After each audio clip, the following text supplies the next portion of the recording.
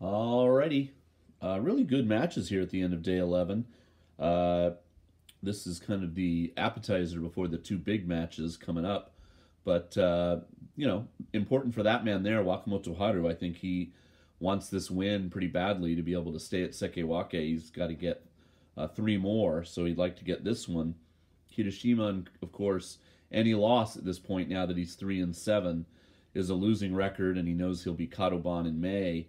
But you know he could win the next five in a row and go eight and seven, so it is possible. Um, but he hasn't been performing uh, very well, obviously, to this point to put himself in this position. So uh, it's unlikely.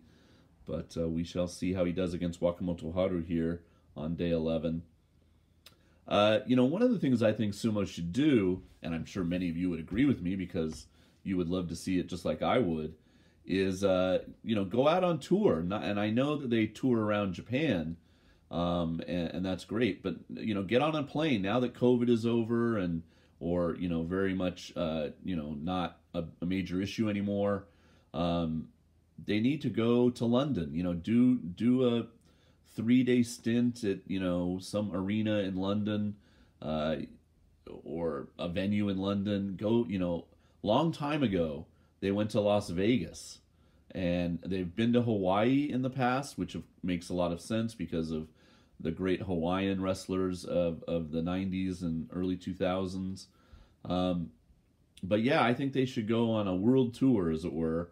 And, uh, you know, they don't have to go to multiple places, but, you know, go to, uh, I would say those would be the two best places Vegas or California, you know, Los Angeles, because there's a huge Japanese American population on the west coast of the United States, or go to London, you know, which is accessible to so many people in Europe, etc. And uh, do, you know, two or three days of sumo and, uh, you know, let the wrestlers, you know, have that experience of being in a foreign country. I don't know how much time off they ever get to, you know, travel and see the world. And um, it, it would just be great for the sport. It's trying they're trying their best to reach out to the foreign fans i think more and more now with you know the sumo primetime channel and nhk world and uh, you know uh, they're you know obviously foreign born rikishi in the ranks. We've you know we've got uh, a guy from the ukraine a guy from kazakhstan uh, a mongolian who goes you know roga who gets listed as russian. We've got mongolians uh, etc., etc. So uh, I think it, now would be the perfect time, to, you know, 2024, 2025. But uh, I just don't know if they're thinking about it. It obviously would cost a lot of money, but uh, it could be worth it if, if you know they want tourists to come to Japan and see sumo. Put it out there and, and let people know about it. You know. Okay, here we go.